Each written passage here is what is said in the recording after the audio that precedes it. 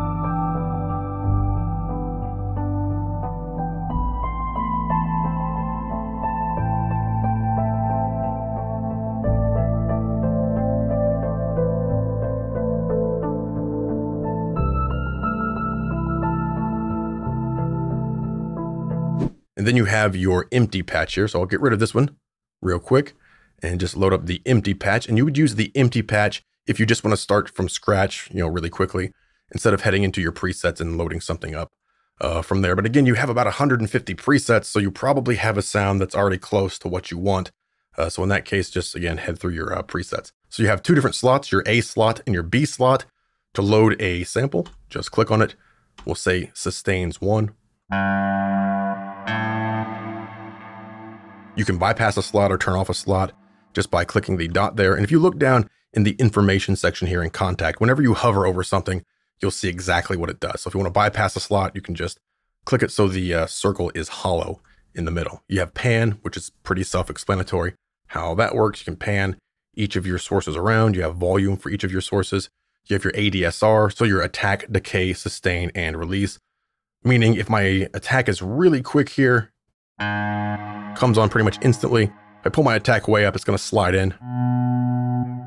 Set your decay and your sustain here. So if I want this level to be down here, my decay there. Decays down to my sustain level pretty quickly there, or make it longer. And then your release. So if I turn my release way down here, press a key, then release, it essentially goes off immediately. Now there is a reverb and delay on this. So if I turn those down, you see, as soon as I release, it goes off. So if you want that release to uh, go on longer, just turn it up a bit. Press the key, release. So it's still gonna release much longer instead of just immediately cutting off. Then down here we have our sample start. So if you want to start at a different part of a sample, just adjust exactly where you want that to start from. And of course, all of the same stuff applies over here to B as well. So I can load up maybe the harmonics over here. Then you have additional noise samples, so our pedal samples here, the dampening of the finger noises, and our releases, which adjust the volume of the finger noise that plays on release of the keys. So you can really pump that up or pull it down up to you. Then we have our sort of macro circles, and these will correspond to the settings we have over here in the effects page. Let me show you what I mean. So right here is our stereo width control. If I take this all the way down, head back to the effects page, you can see that our stereo setting is now all the way down. If I pull it all the way up, that's what it looks like there, okay?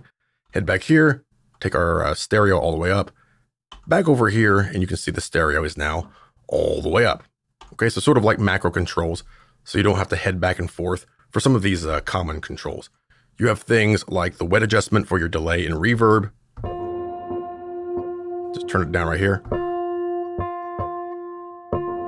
Filter controls.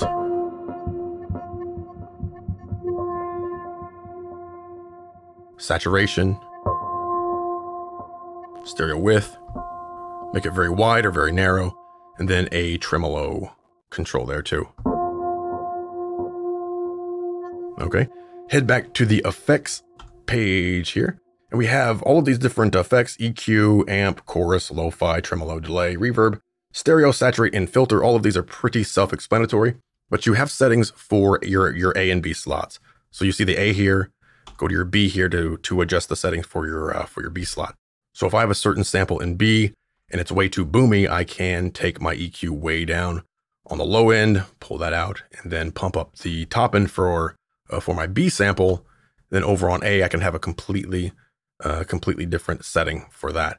Same thing for all of these that have the A and B setting. So something like saturate, stereo, reverb, they don't have the A and B setting, but delay, tremolo, lo-fi, etc.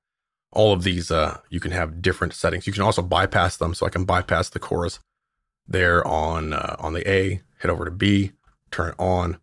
You can see those uh, settings are respected. So now we'll listen to some more samples of guitar reveries to get an idea of uh, some of the possible sounds you can create with this pretty cool library.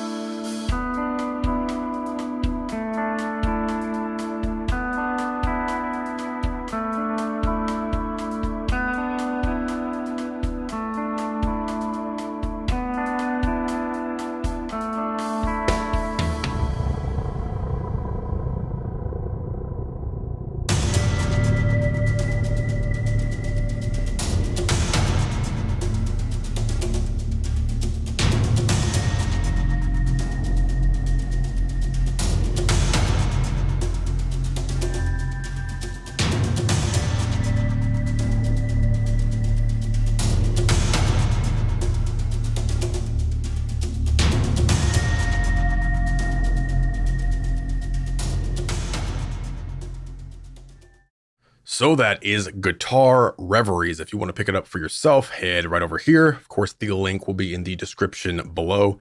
Check out the videos on their site, and they have a bunch more samples over here uh, that you can check out as well. It's a great library. It sounds, you know, it sounds fantastic. Really great for sound designers, or if you're into anything that's cinematic, or you just want something a little bit different uh, to blend in with basically any other kind of music that you want. All right, so that is Guitar Reveries from Valiant Samples.